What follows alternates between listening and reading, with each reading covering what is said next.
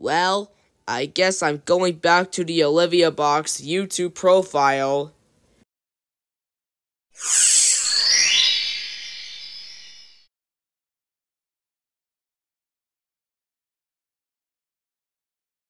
Catch you soon.